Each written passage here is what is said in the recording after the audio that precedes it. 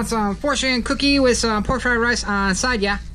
Ling Ling, you passed by Christy and Nelly, no say hi me.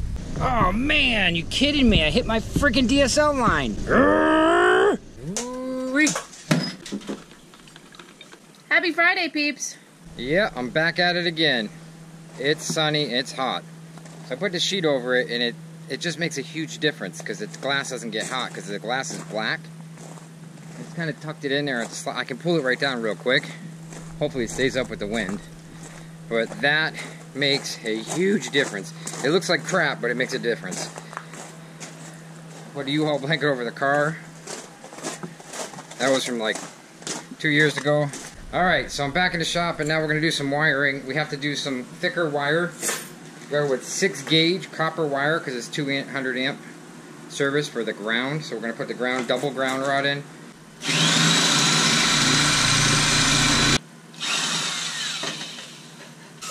Just like butter. It literally took me seconds to get through that.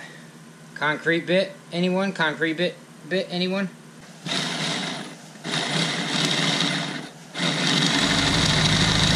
Yeah, this is the bit you sent me. It's concrete. It's a killer bit. I needed it.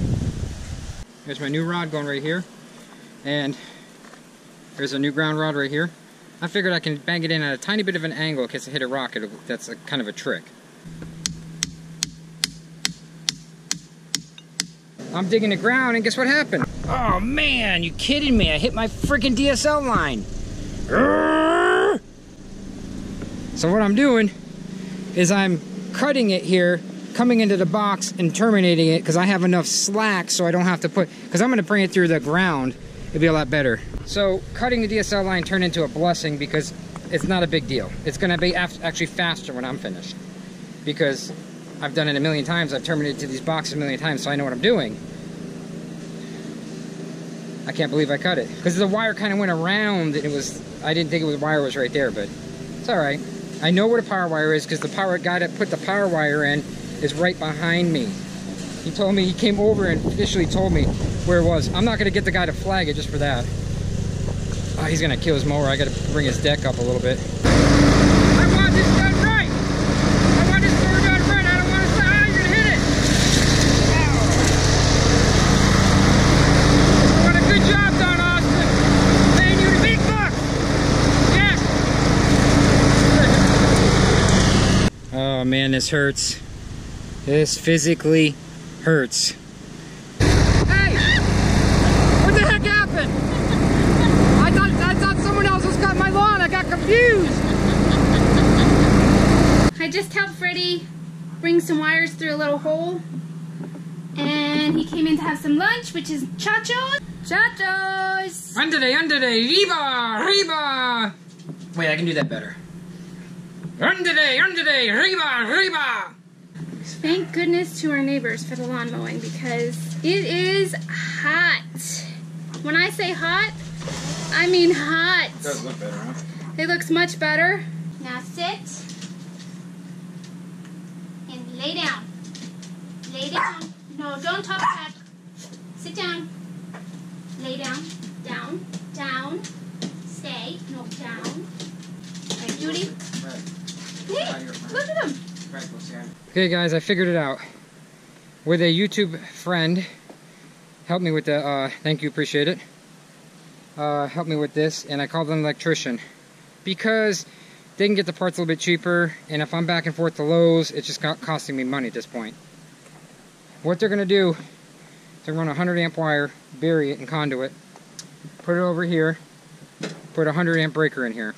Take all this mess right here, and put it over here. Right here, way away from the water. Here, then we're gonna have all the breakers there. Then he's gonna punch through the wall and put me a 220 in. He's gonna put me a 220 in so I can run an air compressor. So, that's about it. And you gotta change a couple things on the box. And here, he said I did everything properly, it's just not finished. He's gonna run a 100 amp, and then he's gonna run a 100 amp wire from the breaker. He's gonna put a 100 amp breaker in. He's gonna come up up here about 45, uh, 30, about 50 feet down and put another junction box on that side for the RV. This, all this will serve is a meter and a breaker, a big 200 amp and a, and a, and a 100 amp breaker. So it's just gonna be a meter and a breaker. That's all that thing's gonna serve. So everything will be buried and finished. I did this today for them. I did all the ground. I put my DSL line through here.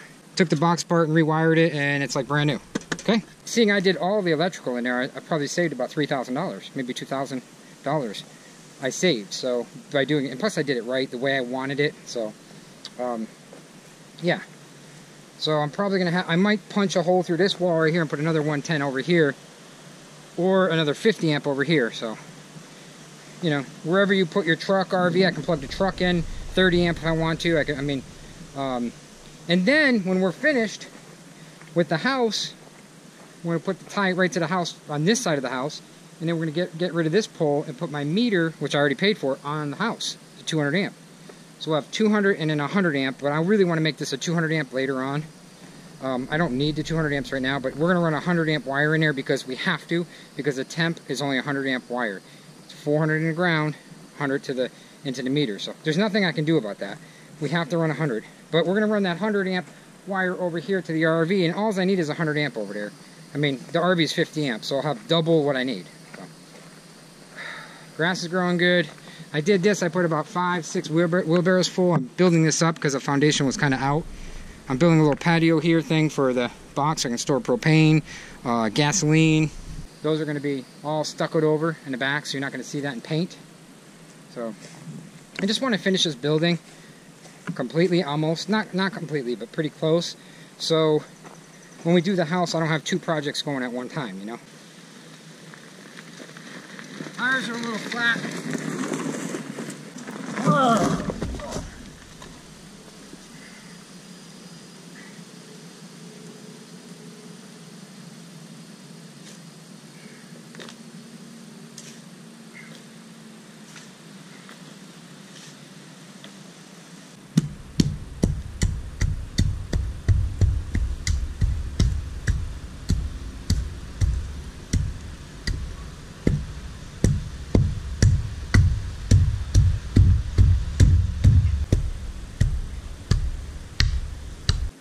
Signing off for the day. I'm done. So Fred, calling an electrician just to get the the the rest of the grunt work done.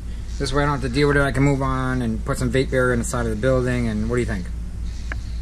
I don't want to spend any more money, but honestly... How's the camera? To have it done. And just over with. Well, I figured we could do more videos for the peeps if we get this thing done and out of the way. I'm ready for it to be done. I'm ready for all these projects to stop so that we can go back to life and start doing videos and start doing some fun stuff. Yeah, we don't do anything fun for the last six, uh, four months. Nothing. No, the last two years, we really haven't done very much fun. Yeah, no, we've been looking for land. Hey, what do you think you are? You think you're a uh, one of those people that does nails at the mall with your special nail machine? Ling Ling, you passed by Crazy Nail. You know, say hi me. You know, if you would have done that and I was had this on my nail, that'd have been a problem. Say it one more time. It would be a good entrance video. Ling Ling, you passed by Crazy Nail. You know, say hi me. I want some fortune cookie with some pork fried rice on side, yeah? Ling Ling, you passed by Crazy Nail. You know, say hi me. You can get a suntan from this stuff. Say goodnight, peeps. I hope you guys enjoyed our crazy fun day. Like us and share us. You know you find us funny. No, not like us and share us. I hope you guys enjoyed our crazy fun day, and I hope you guys are to enjoy tomorrow. It's to be lots of fun. Good night. Like us and share us. You know you'll find us funny.